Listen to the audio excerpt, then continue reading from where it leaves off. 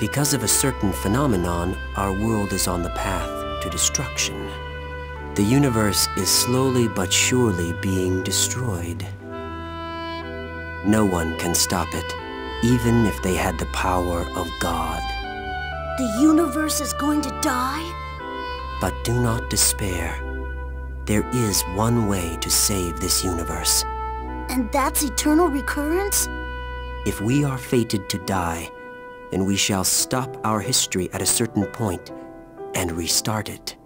And we shall repeat that process eternally. How do you feel about our world? What do you want to do with this world that drove you into the pit of despair? I hate the world. A universe like this one is better off gone.